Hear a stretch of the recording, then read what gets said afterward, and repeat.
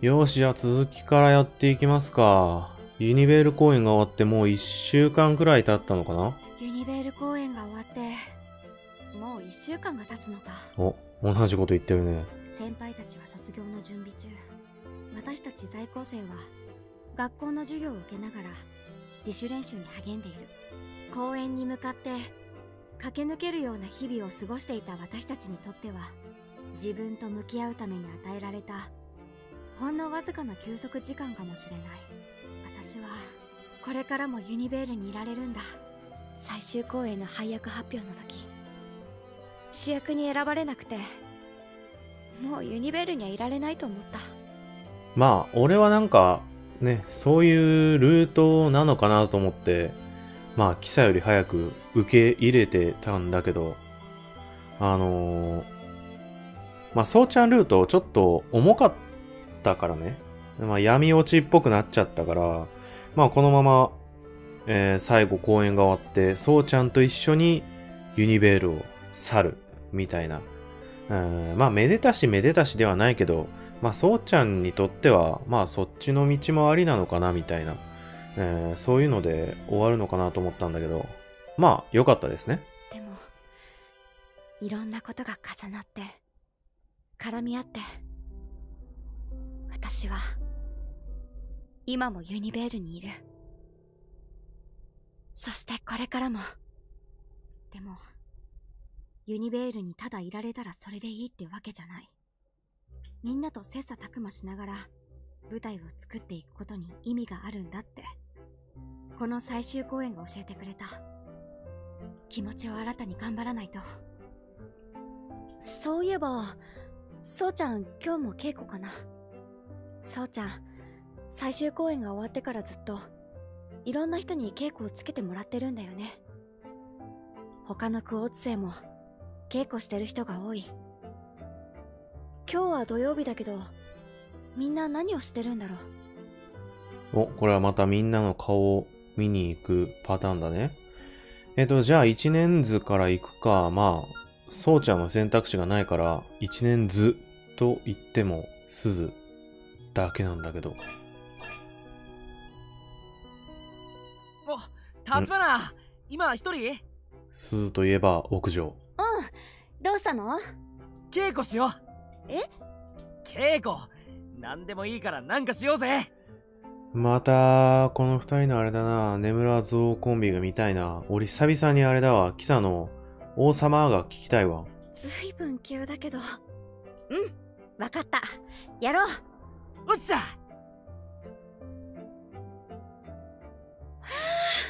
すずくん相変わらずスタミナすごいね。そっか。でも立花も前に比べたらすげえ体力ついてきたんじゃねえの？でも追いつける気がしないよ。そりゃあ俺も鍛えてっからな。こればっかりは負けらんねえよ。それにしても今日は急にどうしたの？そんなに稽古がしたかったの？俺ん中じゃ急じゃねえんだ。ずっと前からそう。ほら公演準備期間中ってコンビ組んでる相手と過ごすことが多いだろ？ああそうだね。私は冬は白田先輩。最終はそうちゃん。そこ！そこそこそこそこ！俺はもっとお前と稽古がしたいんだよ。うん別に無理して相手してほしいわけじゃないんだけど立花と稽古しねえとなんか調子出ないんだよ。これはさ、まあ、ちょっとそうちゃんっぽいさ、依存気質というか、キサじゃないと力がさ、出せなくなってきてんじゃないの？眠らゾウの時がっつり一緒にいたからそのせいかな。新人公演の立花と組んで稽古してたあの感覚が俺の基本なんだよ。まあ一番最初が、ね、あーキサとのパートナーで始まったからかな。あれからもうすぐ1年になるのか。そんだけ経つんだからいい加減直せって話なんだけどよ。俺この感覚だけは忘れたくなくてさ。お前が夜長と組んですげえもん作った今。こんなこと言うのもなんだけどさ。俺の夢はやっぱジャックエースで。隣にいるアルジャンヌはお前なんだ。秋ん時、夜長が俺のこと、ライバルだって言ってたけど、ほんとそれ、お前ん中じゃ、もう隣が決まって、俺なんかお呼びじゃないかもしんねえけど、俺、諦めねえわ。その方がクラスも盛り上がって楽しそうだしさ。あいつらいっつも立花取り合ってるなって。それとは別に、お前も俺のライバルだから。やっぱお前には負けたくねえし、負けるならお前がいい。俺ら3人、卒業するまでずっと一緒。いやー、いいやつだ。お前たちが同期でよかったわ。これからも頑張ろうな。いいやつじゃん。ほんと。え、なに一年通して鈴。いいやつじゃん。好感度上がるしかないんだけど。ああ、お前か。歌の稽古中でしたか？うんうん。気晴らしい。さっきまでネジさんのところで、新人公演の進め方聞いて疲れたから。もう来年から組長だもんな。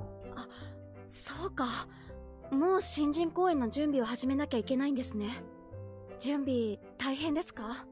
ネジさんの無駄話に付き合う方が大変。しかも、おふざけの中に真面目な話潜り込ませたりするから、適当に聞き流せなくて立ちが悪い。で、お前は夜中でも探してんの？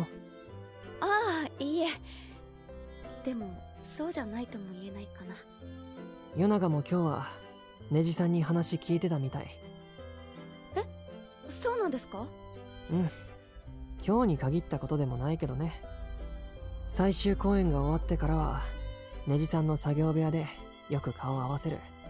舞台のことをいろいろ聞いているみたいだよ。あー、脚本関係かな。いいことなんじゃない？夜長が舞台周りのこと把握しておけば、お前も折巻も助かるだろ。折巻はあんな感じだし、お前もクラスのサポートで大変だろうから、夜長の性格的にも向いてそう。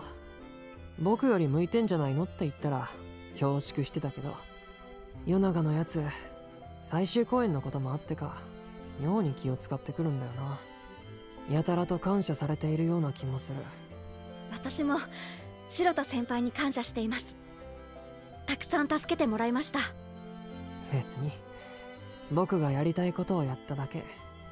これからのクォーツのためにもお前たち78期には頑張ってもらわなきゃいけないからな。それに僕はお前のこと買ってるんだこれからも本当に困った時はちゃんと頼れよ。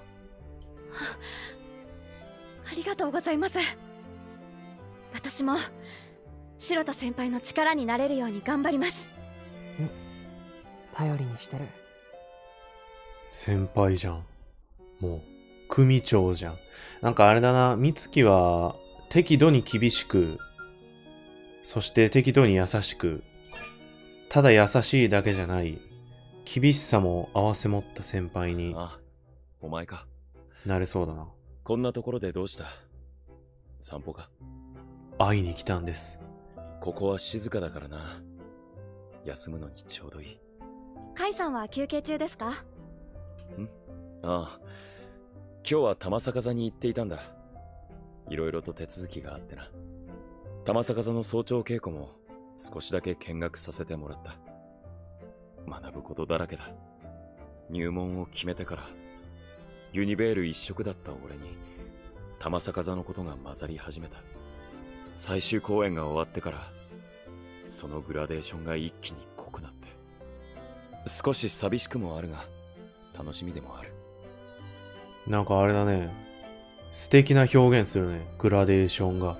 ユニベールでの生活に思い残すことなんて何一つないと言えるくらい最終公演が素晴らしかったしな。ラストお前が歌うシーンは圧巻だった。じっと聞き入ってしまうくらいにな。それに夜長も夜長の葛藤は俺に重なる部分も多かった。器として人を支えるのは簡単なことではないからな。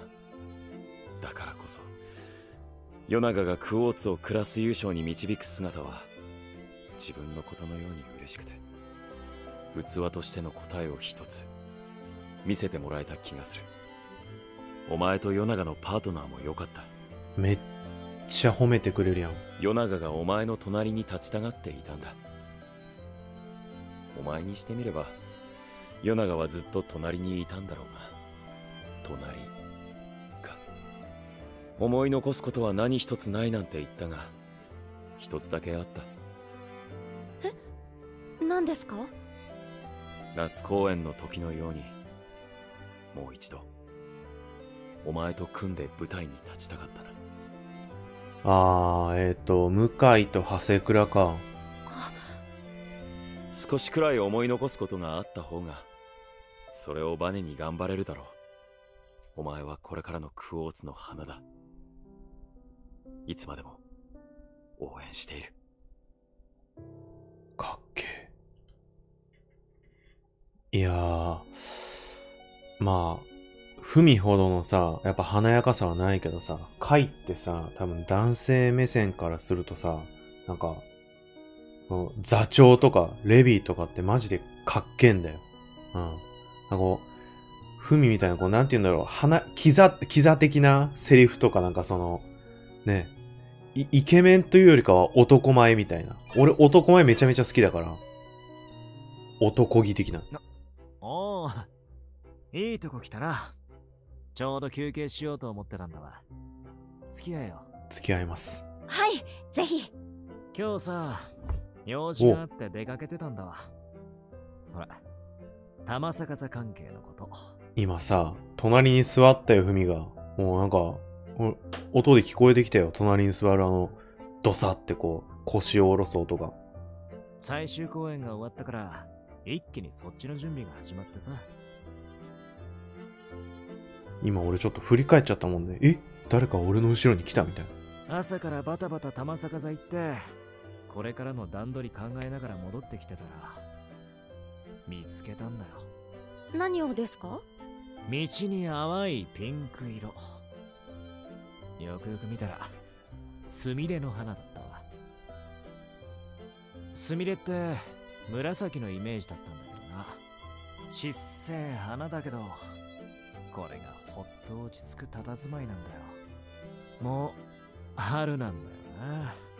初めてお前に会ったのは春先の入試だったかふみさんがダンスの模範演技をしていました。後期使われんのは大変だけどどんなやつが入学してくんのか興味あったからな。お前のことはよーく覚えてんよ。ちっせえのに凛とした佇まいでさ人目を引いてた。んで俺が踊り出すと一気に熱い視線向けてきてさあん時はゾクゾクしたね。そんなお前がクォーツに入ってクラスの奴ら一人一人と正面から向き合いながら成長していって周りの人間まで変えていった。俺もその一人。お前は面白みのある人間だよ。叩けば響くし期待すれば答える。でもさその分見えないところで苦労することも多かったんだろうな。うん。最終公演の準備期間中なんか特にそうでさ。お前ふとした拍子にユニベールじゃないどこか遠くを眺めるような目してた。まああの時はもう主役から外れてたんでね。それがずっと気になってさ。話聞くかどうか判断する前にミツが言ったんだ。アルジャンヌを降りたいって先に手回せなくて悪かったなって気持ちとミツがお前のことちゃんとサポートしてくれるんだなって気持ちが半々。さあユニベール好きか？好き。はい。お前が卒業する頃にはその気持ちがもっとでかくなったんぞ。俺の経験談今からその日が楽しみだ。踊り続けろよこのユニベールでかっけえ。踊り続けろよ。失礼します。あれ？部屋がほんの少し片付いてる？嘘？どこ？どこが？さすが立花君。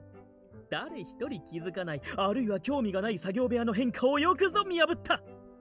特に聞かれちゃいないがお答えしようこれ。与永君が少しずつ片付けてくれてるのよ。へえ。そうちゃんがですか？実は謎の巨大教育機関から卒業前に部屋を片付けろと仰せつかってね。なんかあれかな？この作業部屋は代々受け継がれていくのかな？ユニベールですね。これはもう燃やすしかないと思っていたところで助け舟。そう与永君さ与永君僕がどんな本を読んでいるのか興味があるみたいでね。片付けがてら舞台の話もしてるんだ。僕の言葉を必死にメモっておるよ。僕渾身のジョークまで真顔でメモってるからね。役に立つのかなあのメモ帳。あ最終公演の主役経験が彼の舞台への興味を一層深めたんだろう。これからが楽しみですよ。君もね立花君誰よりもこの場所を楽しみ尽くしちゃいなさい。君にはそれが似合うよ。いや、なんかもう3年生はみんなもう最後の言葉みたいにさ、お別れの言葉みたいな、寂しいじゃん。ネジ先輩まで。立花校長が呼んでいた。今から来られるか？校長先生が。わかりました。すぐ行きますよう、立花。どうだ？ユニベールでの1年を終えて。楽しかった。楽しかったですうん。校長先生？いやそう言えるお前がすげえわ。楽しいことだけじゃなかったはずだろどんだけ辛い思いをさせたか、俺なりに分かってるつもりだよ。でもお前は楽しかったって言えちまえるんだな。本当に。ユニベールが好きなんだな。俺としても、身が引き締まる思いだよ。お前はこの1年間で、クラスに必要とされる人間になった。大したもんだよ。お前が女だってことが世間にバレたら、ユニベールにいられなくなるのは変わりねえが、貴重な人材を失いたくねえんだ。気を引き締めて、これからも励めよ。ね、まだ2年あるんだもんね。はいうん。なあ、覚えてるか？俺が声をかけたあの日のこと。神社ですか？ああ。俺はお前に、立花月は天才だった。お前はどうだ？って尋ねたな。お前も天才だったよ。立花貴さん。このユニベールで、お前の夢を叶え続けな。はいあいつが入学して、もうすぐ1年か。与永にとっても試練の1年だったな。危うさはありましたがあいつはいつも立花を献身的にサポートしていました立花も本当の自分を知る与永がいるからこそ心折れずにやりきれたんだと思いますまあ、そうだな。それにしても、立花月をもっとよく知る二人が、揃って舞台に立つなんてな。あいつが見たら、なんて言うだろうな。ほんと、月に、どこにいるんだよ。あの、俺はね、お腹がね、月に、月にだと思ってんだよ。お腹にさ、お腹のお腹にさ、月のマークがあるからさ、なんかもう、魔法になっちゃうけどさ、ファンタジーになっちゃうけどさ、ポンっつって変えられたんじゃないの？小さい頃月兄とそうちゃん私の3人でやった演劇ごっこ。ユニベール劇場で見て憧れた華やかな舞台。夢を諦めようと必死だった私。その夢をつないでくれた校長先生。試験を受けて合格してユニベールに入学することができて公園に向かって同期や先輩たちと駆け抜けてきた。そばにはいつもそうちゃんがいて支えてくれていた。あれ？キサちゃん。そうちゃん。お疲れ様。用事？校長先生のところにいたんだ。この一年をねぎらってもらったよ。そうだったんだ。嬉しいね。そうちゃんは？何か用事？ネジ先輩の本を図書館に返してきたとこ。片付け手伝ってるんだ。あ、あれ、図書館から持ってきてたの？あれ、なんか、レンタル期間みたいなのってさ、ないのかな？あとは天気がいいなって思ってた。あどこか出かける？うん。今日もここは静かだないい天気だね、つって。東京グールの最終回、思い出す。前話したよね。ここに来ると子供の時を思い出すって。私たちが演劇ごっこをしていたあの神社に似てるからだよね。でも最近ちょっと変わってきたんだ。昔のことを振り返るより今のことを考える時間の方が増えたんだよ。あとこれからのこともそうちゃん最終公演が終わってから稽古頑張っているよね。もしかして新しい目標ができたの？あのね僕これからはジャックエースにこだわるの。やめようと思う。ええ。え？キサの隣にみたいな。僕さずっとキサちゃんの隣に並びたいって言ってたでしょ。だからジャックエースになりたいって。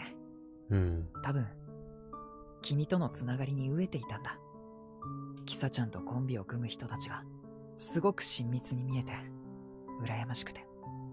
君の隣に立てば君の全てが手に入るような気がしてた。でも違うんだよね。コンビでも。コンビじゃなくても。ちゃんとつながり合える。同じ方向を走ってるって教えてくれる鈴くんの熱量。何があっても何とかしてくれる。ネジ先輩の動き。どんな時も僕を冷静にしてくれる。白田先輩の眼差し。誰よりも花があるのに。誰よりもフォロー上手なふみさんに。最初から最後まで強い気持ちで支えてくれたカイさん。舞台の上で。みんなのことを感じてた。みんなが僕の隣にいてくれた。キサちゃんはそんなこととっくに知ってたんだろうね。ほら君が獅子屋として言ってくれた言葉。あなたは私の隣に並びたいと言ってくれていたけどあなたはいつだって私の隣にいたよって言葉。すごくすごく染みたんだ。だから僕これからは形にこだわらずに自分にできることを何でもやろうと思う。役もそうだしネジ先輩みたいに舞台の土台を作るようなことも。全部うん。できると思う。簡単なことじゃないけどいろんな形でクォーツを支えられるようになったらもっと強く君の隣に立てるんじゃないかなってだからジャックエースにこだわるのはやめるんだねジャックエースをやって見つけた目標がジャックエースにこだわらないってのも変な話だけどねそれにキサちゃんが誰かとコンビやパートナーを組んでいるのを見たらそれはそれでいろいろ考えちゃうかもしれないし自分で自分がめんどくさいよ。もっと強くなりたいな。そういうところも好きだよ。そういうところも好きだよ。そういうところも好きだよ。あ照れた。ダメだよ。ダメダメ。僕のことそんなに甘やかしたらダメ君のことを守りたいとか支えられるように自立したいとか言っておいて結局キサちゃんに助けてもらってばかりで。こんなんじゃ愛想つかされるんじゃないかって。そんなことないよ。えあうえっ、とじゃあ好きって言え。君にもっと僕のこと好きになってもらうために頑張るうん。楽しみ。はあ。叶う気がしない。なんでだ？自信を持て。役の幅を増やしていろんな経験を積んでいけば僕にしかできない新しいジャックエースも作れるかもしれない。君と主役になりたいって気持ちは僕の中に変わらずずっとあるから。一歩ずつでも前に進んでいつか僕もイザクみたいにはっきり言えるようになれたらいいな。イザク僕君にふさわしいのは僕しかないって思っているんだ。あ。どんなに才能のある人間が来てもそれだけは譲れない。僕の真ん中にいつも君がいる。君のことが好きって気持ちだけは誰にも負けないよ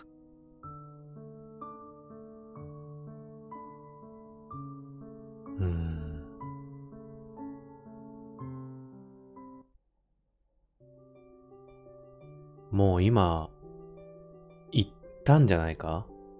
まあ、イザクの言葉を借りて言ってたけど。うん。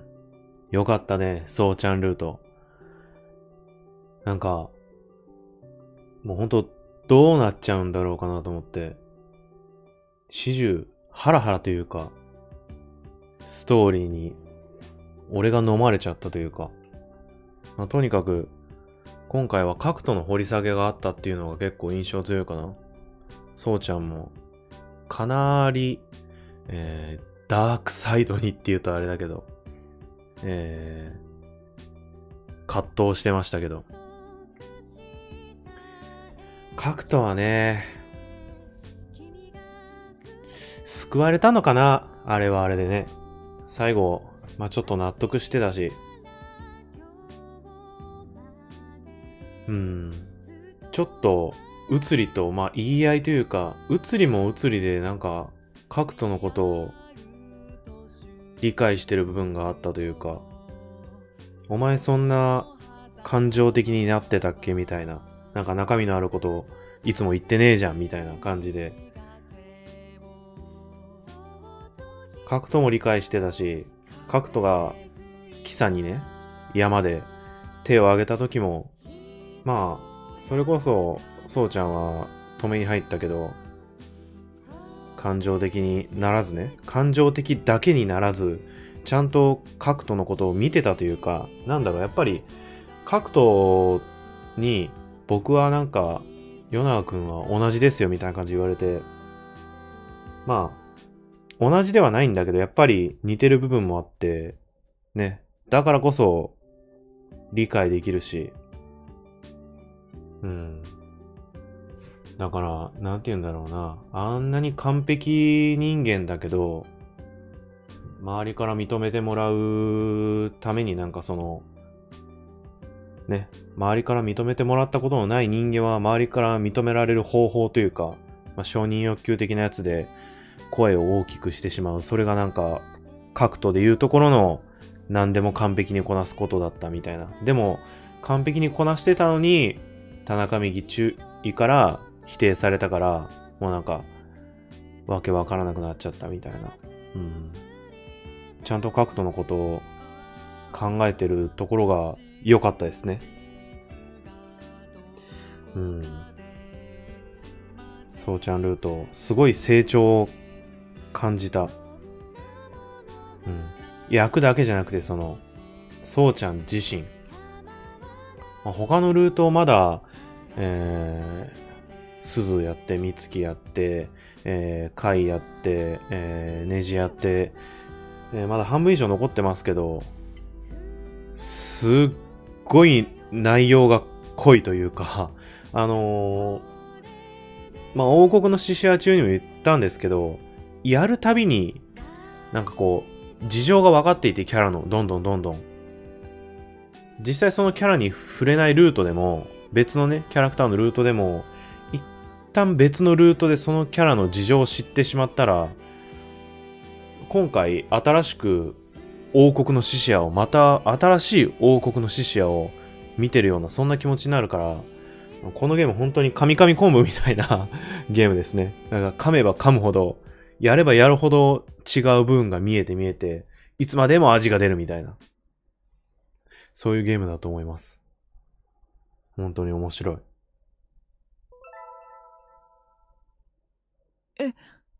月くんがユニベール歌劇学校に？これあれか、そうちゃんの幼少期。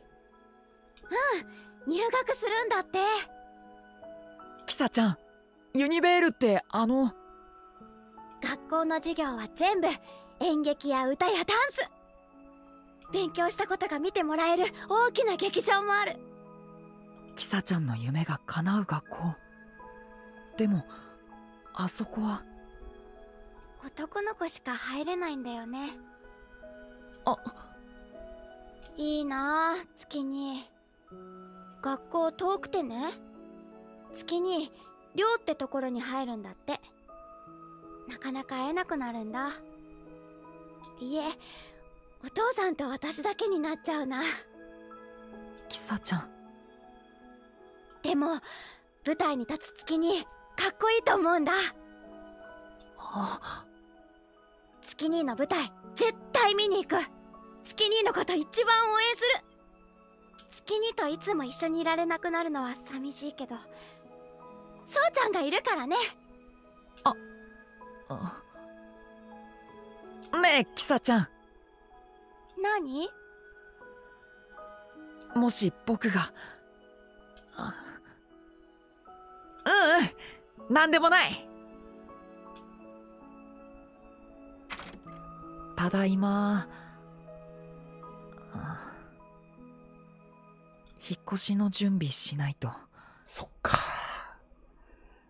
悲しいな。キサちゃん。そうだ手紙なら。背景キサちゃん。なかなか会えなくなるけど僕の夢は月くんと同じようにユニベールに入って君に舞台を見てもらうことです。主役になった僕を見に来てほしいです。その後たくさんおしゃべりしたいです。いろんな場所に連れて行ってあげたいです。できればその先も大人になっても一緒にいたいです。なぜならなぜなら僕は君のことが好きだからです。遠くにいても君のこと思い続けます。この手紙を。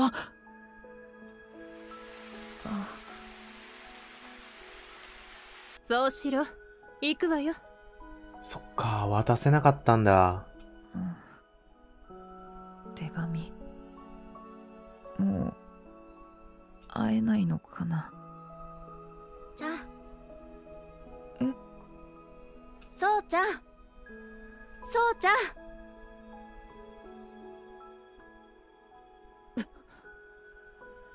そうちゃん大丈夫？どうしたの？あうわ涙。はい。これで拭いて。ありがとう。